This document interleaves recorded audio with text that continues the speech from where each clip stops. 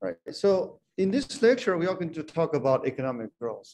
Right. So just quick, quick, quickly review what we have learned. So we are in the second module. Right. In the first module, we review microeconomics. In the second module, so the key things is understand the measurement. So we have just learned how to measure in GDP, and then we learn how to measure in the price level.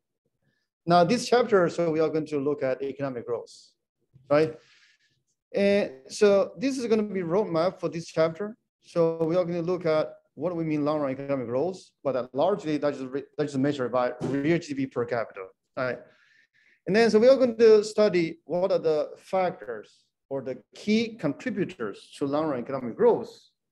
So that explain that's so that understand so why some country richer than the other, right? Or why so there's some country outperform the others over long term. And lastly, we are going to look at sustainability and the challenge to growth. So essentially, it's about like climate change, like the uh, deplete, the depletion of our natural resource, right? So that's a roadmap. Now let's just first look at economic growth, right? So the economic growth, it has the cost and its benefit. Usually we pay attention to the benefit, okay? So essentially because economic growth brings us prosperity, brings us higher and higher standard of living. So that's both in terms of quantity and quality. But less attention has been paid to the cost associated with economic growth. Okay, so usually come with the cost of air pollution. It comes at the cost of climate change. It comes at the cost of the depletion of natural resource.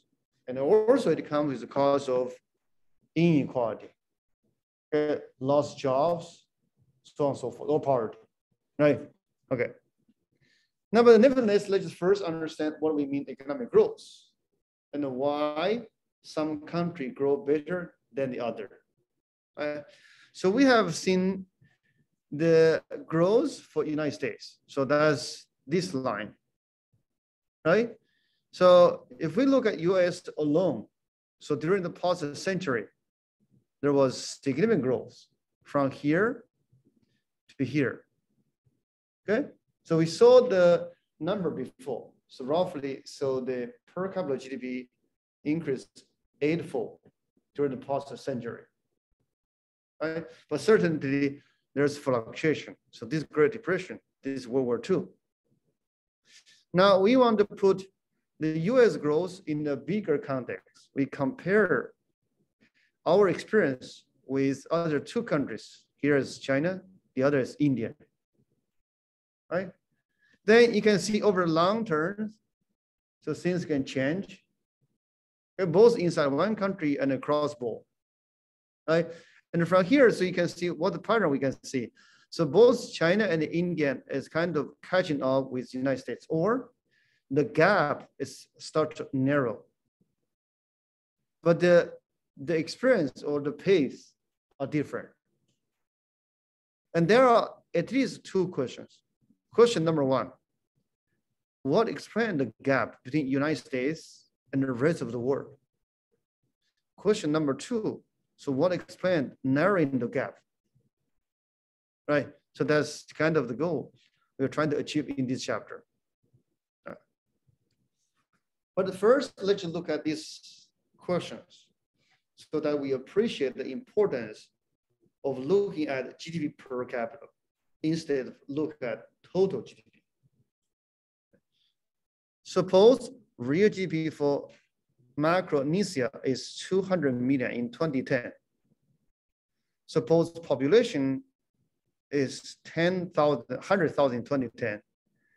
And the population grow to 105,000 in 2011. At the same time, GDP grow by 5%. Sorry. Now, the question asks you, what happened to real GDP per capita? Certainly the answer is C, stay constant. Why? Because yes, the total GDP increased by 5% here.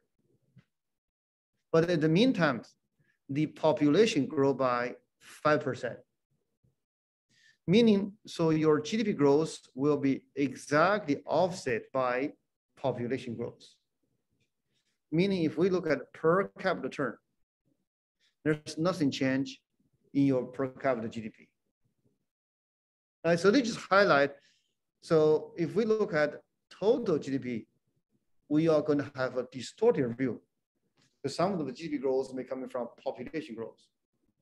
But if you look at per person term, if you look at standard living, nothing changed, right? So we need to look at per person. But of course, so here we look at real instead of nominal.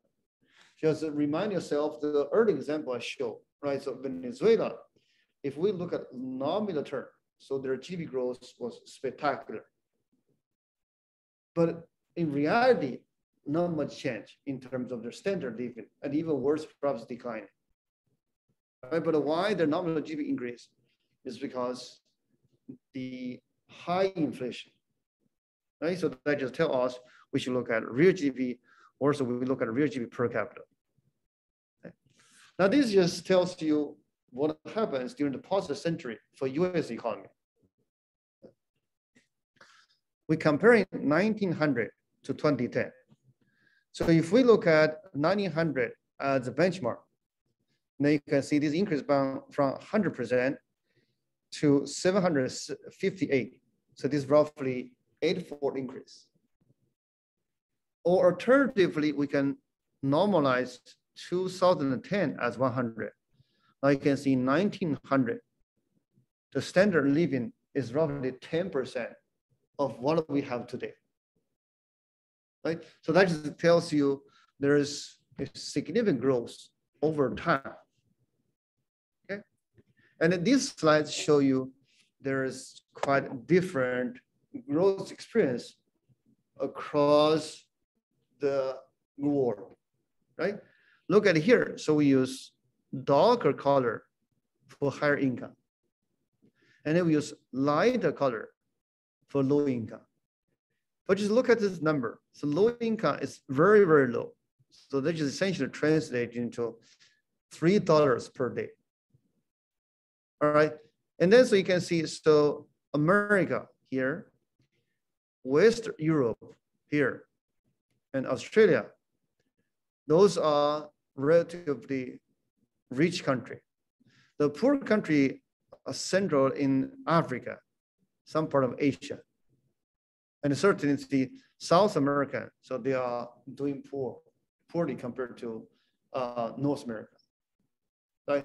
But certainly, so the main takeaway from this picture is that there's wide range of difference in terms of their economic growth. But we need to find out what are the main factors behind this difference.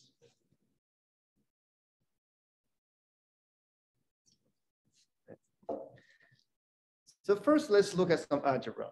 Okay, so I'm going to introduce a rule of 70. So this rule of 70 says, okay, so if a variable, so you can think about this is the growth of population, or this is the growth of per capita GDP as we cares. Or if the growth of the price, whatever, whatever uh, interesting. So if the growth rate is X percent, then it's going to take 70 divided by this X percent to double your income or to double the variable you are interested in. Like in our case, income, right? Example, if real GDP per capita is growing at an annual growth rate of 3.5%, it's going to take 70 divided by 3.5 equal to 20 years. Okay, so you may be wondering how we came up with this 70, rule of 70. Okay, so let's quickly explain to you. So essentially, this just says, okay, so you need to find out one plus okay, x, this x percentage right? And then, so raise the power of n. So this is compounding. right? So n years. So then, so you double your income, right? So this is what, so n is the object we need to find out. And then you take a log on both sides. Okay, if you're familiar with calculus, and then so you can log and then take some approximation. So at the end, you're going to see x will be a sorry, uh, n. Apologize. So n will approximate will be approximate by so this number is going to be log two divided by x percent. So that just translated into rule of 70. All right. So if you if you're not familiar with this math, don't worry. So that's not essential. Here just just provide a background for students who are interested. So the key message here is you need to know this part. 70 divided by x. x is your growth rate. Now let's look at example. Suppose real GDP grow 2%. How many year will it take for real GDP to approximately double? So the answer is straightforward, right? So 70 divided by two. So that's what we just learned. Right, so this one is straightforward. Now, this one is less straightforward. Okay, let me give you 30 minutes to think about, and then so we can we can look at how we are going to solve this problem. Okay.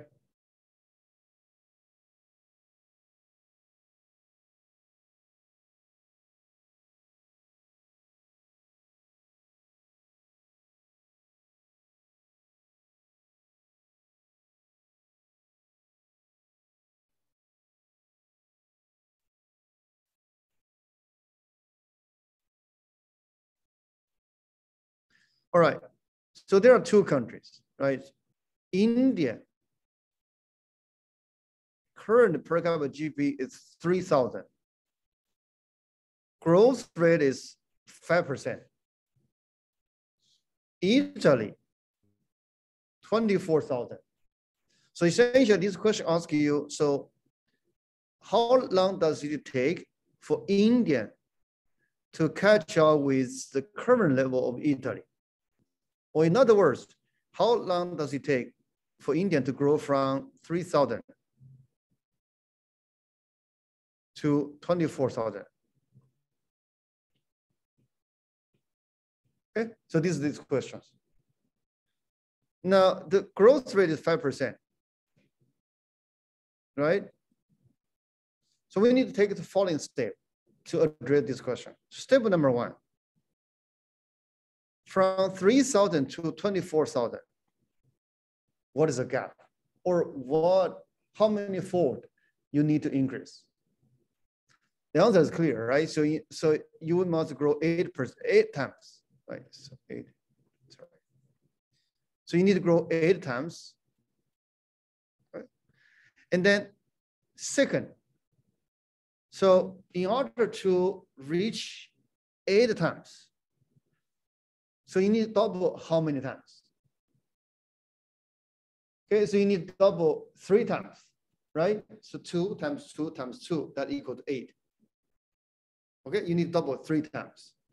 So, or in other words, in these examples, so India needs to double their income three times so that they can reach the level of Italy, right? So double three times. Now, step number three. So take how many years for India to double once? The answer is 70 divided by 5, which is 14. Right? Okay, last step. So take how many years for India to reach the level of Italy? Like we just we just uh, mentioned, right? So it takes 14 years to double once. Now we need to double three times. And that just means, okay, so eventually so you need to, you need, you need uh, double uh, so you need to double three times, it's gonna take uh, 14 times three, right? Because 14 years, you double once. And another 14 years, you double twice. And then another 14 years, double the third time. So you double three times, so you can reach from 3,000 to 24,000. Okay, and then so 14 times three, so the answer is going to be 42. Right, so that's how we get this number. Okay. All right, so here, so we can look at growth through another aspect, right? So earlier we just showed the income level okay, across, across countries. Now here we look at growth rate across countries. So on the far left, we have China here. So the growth rate is almost 8%. On the far right, we have Zimbabwe. So the growth rate is negative. Now, if we apply the rule of 70, see what this means. So this just means for China, it's going to take them one decade to double their income, right? So remember for uh, for United States, it take us one century to increase our income by eightfold. But I, now, so for, for Chinese economy, so they can reach that goal in 30 years, right? Because eight, you need double income three times. So they can double their income in a decade. And then in three decades, they can reach the goal of eightfold increase. So that's the power of economic growth, right? But certainly, so whether they can sustain this growth, that's a different question. Like currently, so everyone's kind of uh, agree or there's a consensus. So their growth is start to decline. But that's different question, right? But for now, let's just say, let's just appreciate the importance of these growth or the compounding, right? On the other hand, so if you look at Zimbabwe, so that just means eventually their economy is going to implode, right? And furthermore, so we look at Argentina earlier. So we compare Argentina with Canada, right? And here, so you can see, so Argentina growth rate is very low, right? Because so that's also explains why. So in early example, so so Argentina starts the 20th century, similar to Canada, but end up with only a third of what is the standard living in Canada, right? And then so we can look at example. So India, so earlier we show the growth of India compared with China, compared with the United States, right? So yes, India's overall growth was good, but since 1980, so their uh, growth rate start to stagnate or start to slowing down. But what's behind those slowing down in growth? So possible explanation is because lack of education and infrastructure. But why lack of education and infrastructure matters growth? So that's going to be the next topic we are going to study. Okay, the source of long run growth. To understand long run growth, first we need to understand labor productivity. So this is output per worker. So this is closely related to long run growth. And you can even approximate long run economic growth by looking at labor productivity, right? But what determines or what matters to labor productivity? So economists have examined data over time and across country. And we've identified the following factors that are crucial in improving our labor productivity. Okay? So this includes the first one is physical capital. But what is physical capital? Physical capital are human-made resources, such as buildings and machines. So use our class as example, the computer I use is physical capital. The building I'm using, they are physical capital. So why the physical capital is so important? Just imagine without the building, okay, in the cold winter or in the hot summer, so we may not able to hold the class. And without this uh, computer, and then everything must write on the board, either the whiteboard or blackboard, right? And then so the productivity is going to very, very low, right? Just imagine this take, take a long time for me to write those sentences, write those definitions on the blackboard or whiteboard. But now with computer, we can pre-type those things. And in the class, I just present you to those material, explain to you the key message, and then you go back, go home and study yourself. Right, so this physical capital help us to improve the productivity. Right, this is first, uh, first factor. Second factor, human capital. So what is human capital? So largely this is education and knowledge embedded in the workforce. Again, use our class as example. Okay, what is human capital? Human capital essentially is a skill, experience, knowledge I have from a past experience, okay, through my teaching at different institutions, through my rich experience in central bank and a government agency. Okay? So those things is going to help me to give you better understanding or better explanation. So those things help me help me to help you to connect what we learn in class, usually are very abstract concept. So link them to real world phenomena, right? So that's human capital. But eventually, so you the education you receive, the skill you acquire, the knowledge you have, by attending my class will help you to be a better worker, okay? To improve your productivity once you graduate from college. So this is human capital. Now, the third factor is called technological progress. So this is uh, the advance in the way we produce, right? Just think about electricity. So that's a big innovation or big technology progress, right? And then think about internet, think about computer. Those are big technological progress that has fundamentally changed how we live and has fundamentally changed how we work and how we produce. Right, so those, those are the examples and their importance, right? Now, we have identified three important factors.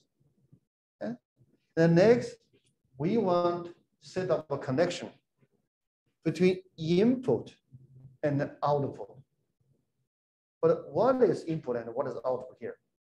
The output essentially is uh, productivity, or essentially is how much each worker can produce in our economy. So this output.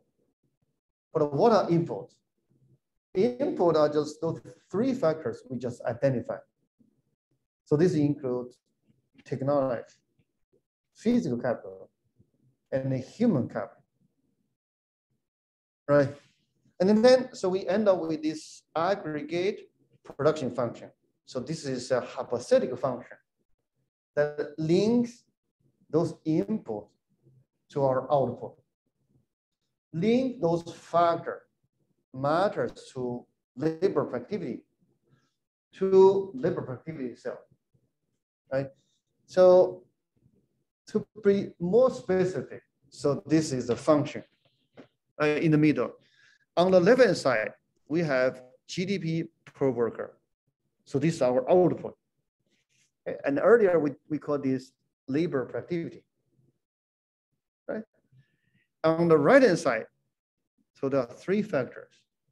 Factor number one, this is physical capital per worker. factor number two, human capital per worker. And a factor number three, T. T here stands for technology. Right. And next, so we have a parameter here, 0 0.4, 0 0.6. So essentially this number indicate the importance of physical capital, also indicate the importance of human capital, right? So usually the larger the number, the more important this number, uh, this, this factor, right? So now with this production function, we are ready to address the early question we have. What explain the income difference across countries? Why United States is more advanced than pretty much the rest of the world? But, but similarly, so we can ask why China can grow so fast, right? Why the Indians' um, economic growth slowed down? So the answer also lies in this equation right? Just imagine if I have one country, so they have lots of physical capital compared to other, and we hold T and human capital fixed, and certainly that country is going, going to in, uh, going to grow faster, or their income is going to higher. On the other hand, if one country has higher technology level, okay, or the economy is more innovative, and then certainly, so they're going to have higher GDP per worker. Right? Okay, so for this production function, so we have a very interesting and very important property. Okay? So this is called diminishing return to physical capital. So this diminishing return to physical capital will have profound impact on long run economic growth. But let me first explain to you what is diminishing return to physical capital. And then next, I'm going to explain to you what that means to long-run economic growth, right? So this diminishing return to physical capital says, so you have additional capital helps, but once we acquire more and more physical capital, and then the additional unit or the marginal unit of physical capital is going to bring us less and less productivity gain. Just give example, okay? If we give the lecture without a computer, and then so I must write everything on the board, very slow, right? So, and then one day, so we introduce this computer with the help of the projector and the internet. And then suddenly, so the productivity is going to boost, right? Or in other words, in one hour, I can give more content or give more presentation than I used to without this computer.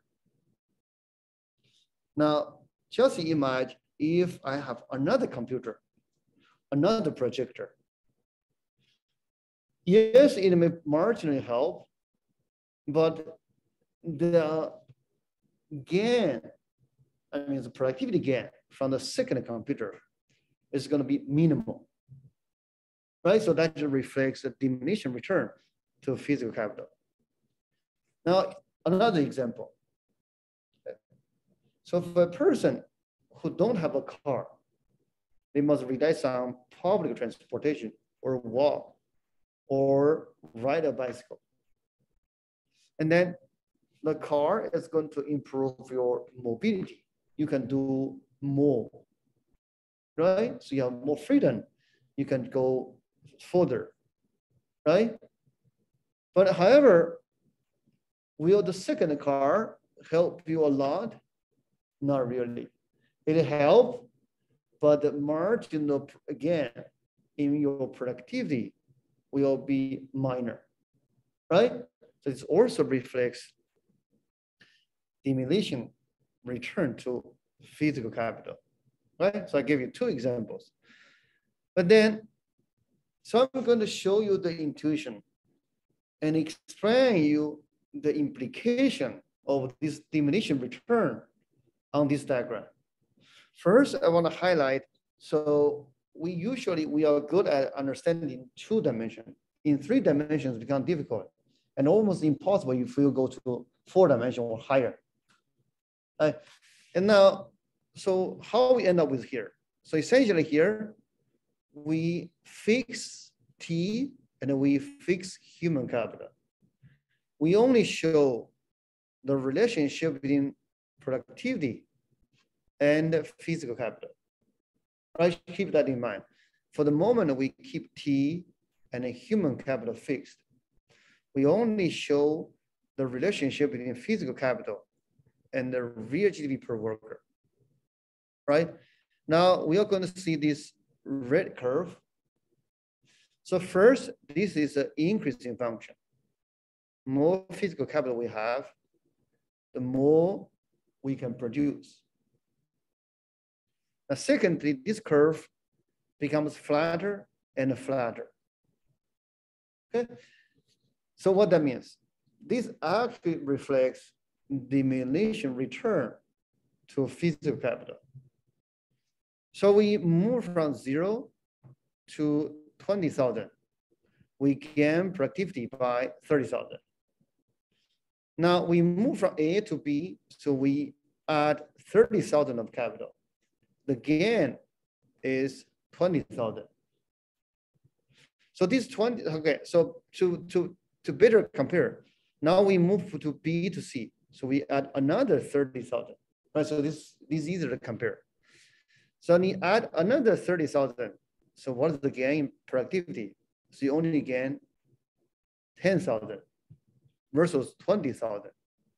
So it's like slowing down, right? Okay, so this flattening of the curve reflects diminishing return to physical capital. Now, let me explain to you what this means or what's the implication to economic growth. So if we trying to put two countries in this diagram, say for example, US versus Mexico. So let me write down. So if we put US versus Mexico, okay. and the, a reasonable way to put is US going to be here, Mexico is going to be here. So this just reflects in, in reality. So US has a higher capital stock per worker, and the US has higher labor productivity per worker than Mexico, right? So this is a reasonable way to put that. Now, if we are trying to think about for each country, if they add additional $1 of physical capital, which country is going to benefit more? So now, so the diminishing return to physical capital starts to kick in.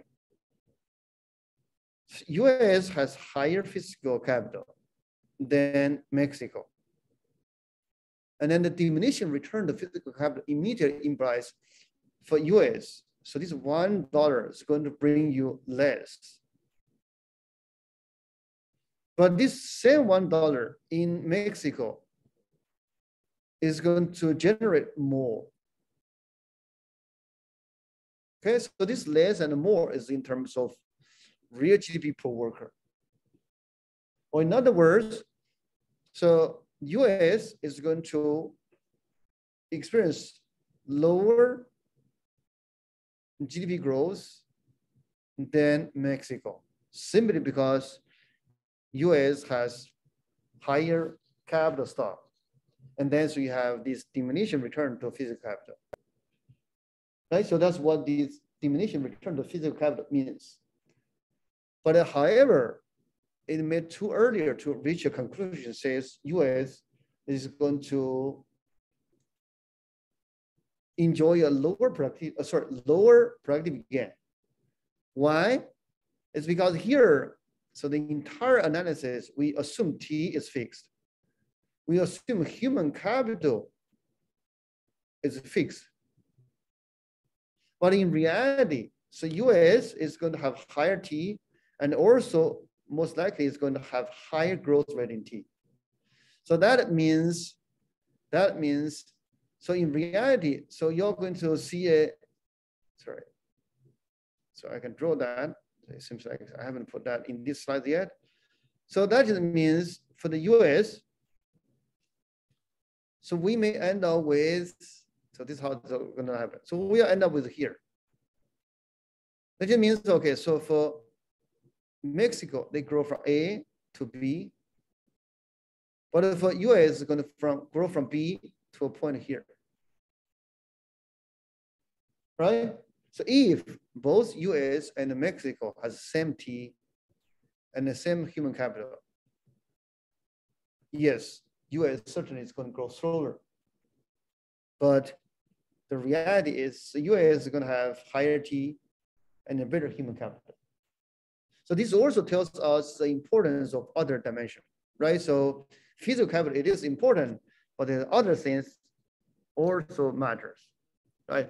But nevertheless, here, so this diminution return, what this diminution return means, right? Particularly what that implies to economic growth. Okay. Oh yeah, so here, sorry. So Mexico is going to grow from A to B, but then so US is going to grow from B to D. All right. Okay, so now we have a rough idea. What is behind the economic growth? What explains the difference of growth across country, right? And we have learned this uh, aggregate production function. Now, we can use this aggregate production function to do an exercise or counting exercise. This is called growth accounting. Essentially, so this growth accounting is just going to decompose the growth in change in T, which is technology, change in physical capital, okay? And then change in human capital. So this is growth accounting. So those are three factors, right? And then, say, for example, we observe US economy grow 800% during the past century. This growth account is going to tell you what's the contribution of this factor, what is this one, and what is this one, right? And this exercise is going to give us a total factor productivity. So actually, this is going to give us a measure of technology. Because usually in reality, we observe capital. We can measure in human capital. But in terms of technology, it's less easy to directly measure, right? We can only direct, indirectly measuring technology through this growth accounting, right? So actually, so you're going to learn this in details once you move to more advanced class. For now, just understand there's a growth accounting that can help us to decompose the contribution of each factor to the observed economic growth. Right.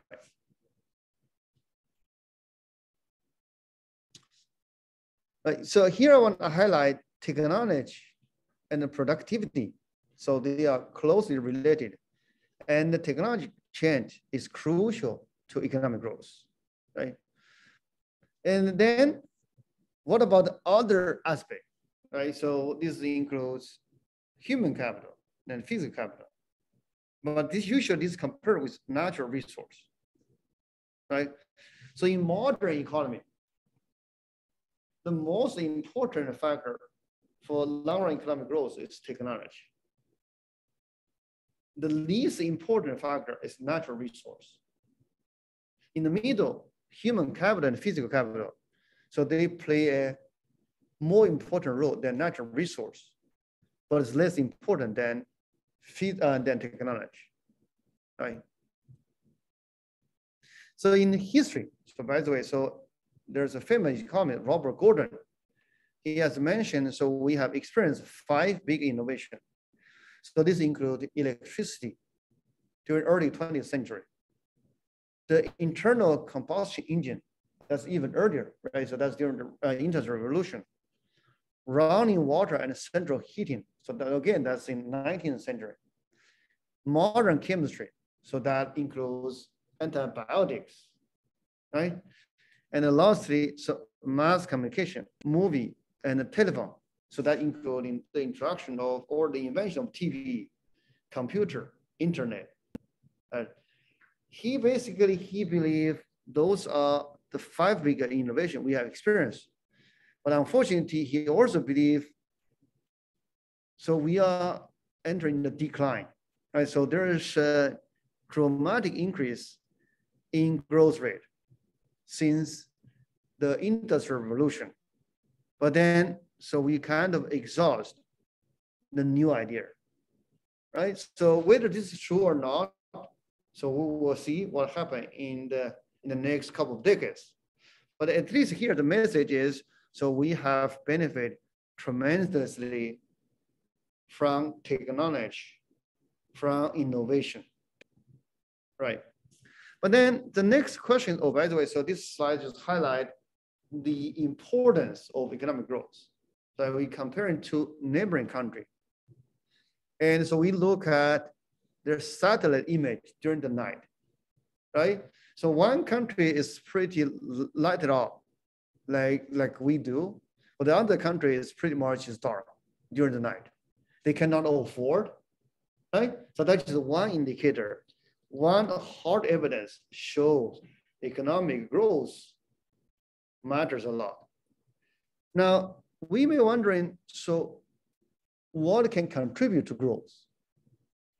So certainly, so everything must go to the factors we identify, either as technology or physical capital or human capital. Whatever is good to either of those three factors is going to be good for economic growth. Now let's go one by one. Saving and investment. So that's going to help us to build up physical capital. Right? So that's good. Education so that's going to improve human capital. It's also necessary or also needed. Research and development. So that's going to encourage technology innovation. Right? So that is crucial. Right? But I want to emphasize the policy that it can that it can help further technology innovation. But first, what is R&D? So R&D is the spending to create and implement new technology. Right? So, but I want to emphasize R&D is very risky. Why it is risky? It is risky in following two sense. Number one, so the inventor or the developer, so they don't know which one will work. Like in this background picture shows, Thomas Edison, the inventor of modern light bulb. So he didn't know which one worked best, or he didn't know which one actually will succeed. So it's very risky, right? So you, you may end up with no answer. This risky number one risky number two. So again, use Thomas Edison as example. He also invent electricity, right? But during his time, so there's another person also invent electricity, but in different form, which is Tesla, right? So what's the difference? So Thomas Edison, he invent we call AC, right? Sorry, he invented DC. And um, Tesla, he invent AC. So what is the difference between AC and DC? So DC is, so the power is constant, but AC is alternate. But what's the advantage of AC versus DC or DC versus AC? So the main advantage of AC is, so it's easier for long distance electricity transportation, right? And that's another risk, right? Because you do not know which one will be adopted by the market, even though both work, right? So given this risk, and then so we may need, so let's just go to this slide. So, and then so we may need the help of the government policy. So the government policy can encourage or even can facilitate the R&D so that we can come out with better and new ideas to promote economic growth, right? So what are those government policies? This includes government subsidy to infrastructure, but just going to help uh, uh, physical capital, right? The government subsidy to education, so that's include that's going to help the human capital accumulation. And then lastly, we are going to need government subsidy to R&D because R&D is risky, right? And then so we need to maintain a well-functioning financial system so that the uh, inventors, they are willing to do the R&D, right? So on top of that, a financial system, a well-functioning financial system is also going to help other aspects like physical capital and education just look, use education as an example. In the United States, we have student loan, right? So this student loan is going to help millions of students to get higher education, to acquire more knowledge, to become a better worker. But without this student loan, so it's probably millions of students will lose opportunity to go to college, right? So besides this policy, so we may need protection of property rights so that those inventors, entrepreneurs, willing to take the risk to invent, right? And then we need the political stability and good, good governance so that people is willing to carry risky investment, right? And here, this there's a background picture, just like case studies show you the importance of infrastructure. So this is a Roman aqueduct Okay? So they have been built 2,000 years ago. Okay? So this the building of this infrastructure improved agriculture in that region quite significantly. Okay? So this is a case study. All right. So now, yes. So here, so there are two examples or case studies. Why? One is why uh, Britain fall behind. The other is what caused East Asia's miracle. Okay, so I leave these two case studies for you to read, but essentially this echo the policy we just mentioned, right? So you need a good policy to encourage saving investment. You need a good policy to encourage education and R&D, right? So whenever you have a government, so their policy is against those things, you're going to see a decline growth. And otherwise, you're going to see economic miracle as we observe in East Asia. All right, I leave that for you to read. Now, in class, so let me see. So we can look at Africa. Let's just expand a little bit, put some words, right? So Africa. So as we saw earlier, their growth wasn't very good, and the most part has negative growth. What is behind the negative growth in Africa. Okay, so there are there are a couple uh, factors: government corruption, war, instability, and some may argue so unfavorable geography that leads to the prevalence of infectious disease. So that's going to reduce the human capital, right? And then there's a big question people like to ask: Is African poor? because of its politics or very unstable, or is because their political uh, system is unstable so that they are poor? This is a very difficult question to untangle because it's like causality, right? But nevertheless, the good news right now is, so the growth rate in sub-Saharan sub-Saharan Africa, so that was considered the least developed part in the world is picking up. Okay, so that's piece of good news. All right, so this slide just uh, tells us the convergence hypothesis. Okay, so this convergence hypothesis coming from diminution return to physical capital. Right, earlier I showed you the example, right? So UK, uh, US versus Mexico. Right, so Mexico suppose have higher growth rate compared to the United States, largely because they have lower capital stock, and then so they're going to enjoy higher return to physical capital, right? So we want to bring this idea to worldwide economy. So on the left-hand side, it seems like this story is true. The poorer you are on the, oh, go this, this side, the higher your growth rate. The richer you are, the lower your growth rate. Right? So this just reflects the diminishing return to physical capital. The richer you are, you have more physical capital. The more physical capital you have, the lower return you're going to see. Right? So this seems correct. But however, if we expand our data set, and then so we go to the right hand side, then the picture becomes becomes very noisy or loudy.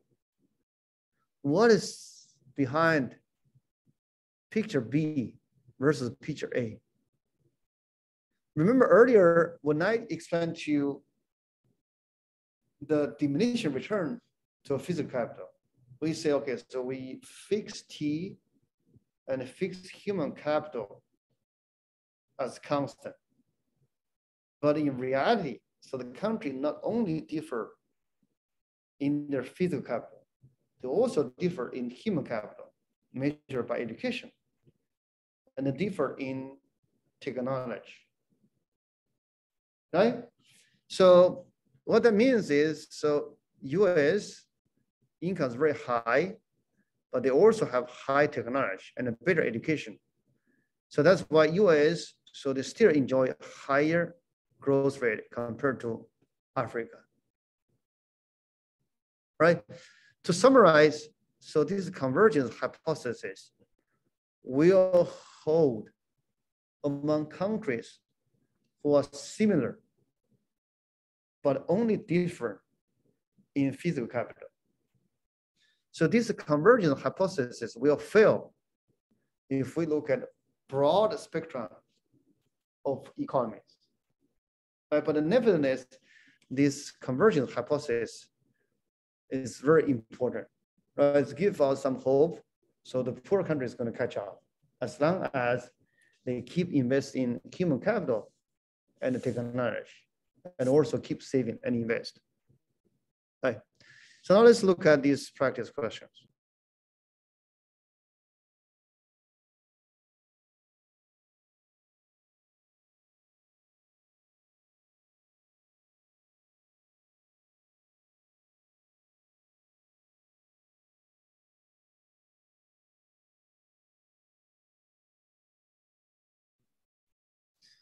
Economic growth can be especially fast so actually both, so actually A, B, and C, they are all correct.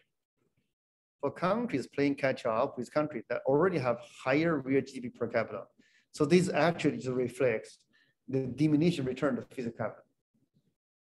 B, for relatively poor countries, if converging hypothesis hold true, right? When these hypotheses hold true, so you need those countries have similar technology and human capital see if a country is able to benefit from adopting the technology advance already used in advanced countries. So essentially you just increase your technology. Right, so that's a crucial thing. Right. So D is correct. Now we have a video to watch. So let me just quickly go through the last topic, and then so we watch this video together, right? So the last things left in this chapter is about sustainable long-run economic growth. So why we look at this sustainability, this is because at least two things, or maybe three. First, natural resource is limited. But a natural resource, even though it's not crucial, but still, so we need natural resource for economic growth, right? So in modern days, natural resources, including minerals, including metals, including oil, right? So those are limited. So if we keep grow, so we are going to use more and more natural resource. Now the question is whether we have the natural resource in 50, 100, or 200 years. So number one. Number two, the growth usually come at the cost of pollution, right? And so this pollution, whether make our economy sustainable or not, because could be so the pollution is going to damage our health. The pollution is going to damage our environment. At some point, so you find out, so this pollution is just too hard to, to, to bear. And so you may find out so the growth may not worth the cost. Is number two. And then number three is climate change. And so this is go beyond pollution, right? So essentially, so we grow, we consume, and we burn those energy. We uh, uh, we emit CO2. So the climate has permanent change. So the severe weather has become more frequent. The planet becomes inhabitable.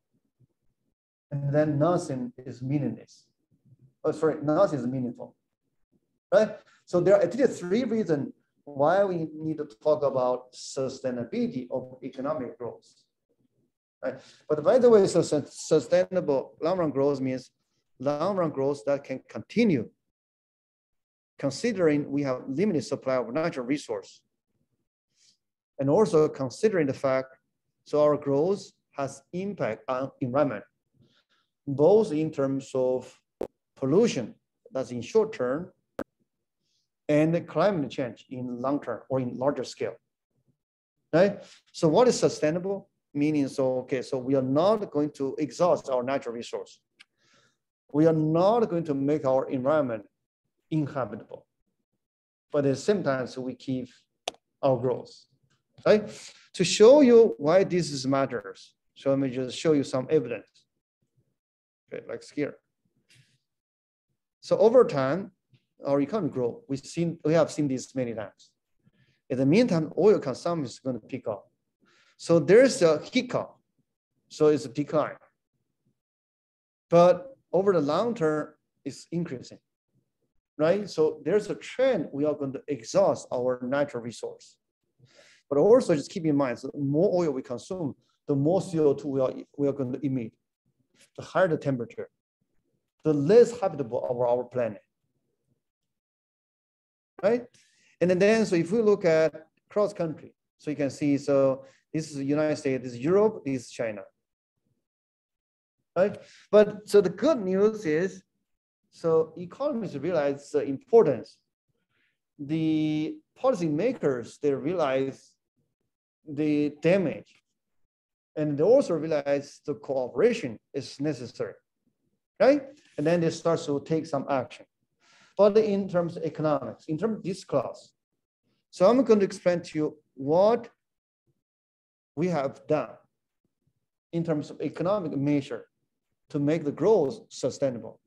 But essentially the key idea is we need people to aware their action is going to cause the depletion of natural resource. Their action or the economic growth is going to come, come a cause of pollution.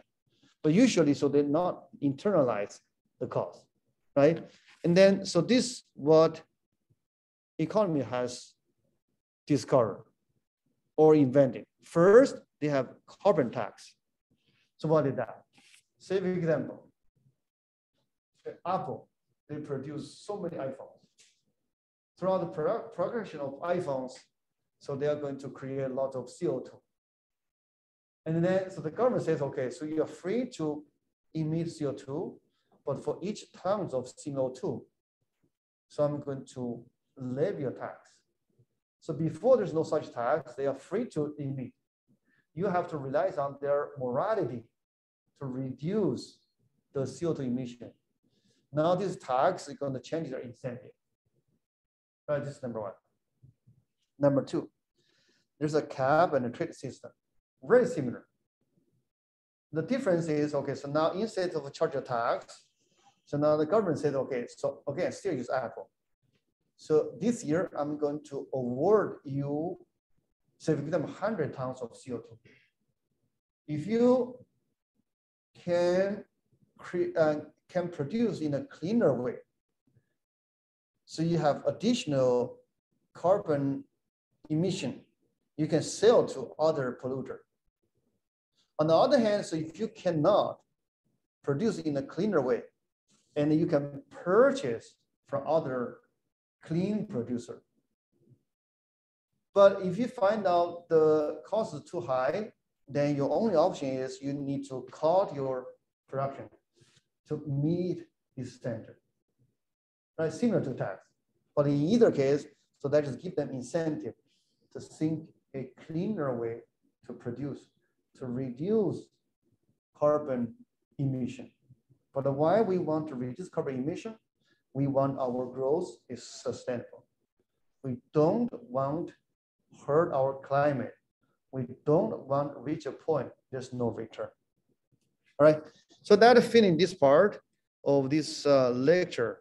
So now let's just watch this video all together. So this is about growth and what long run growth can bring us, right?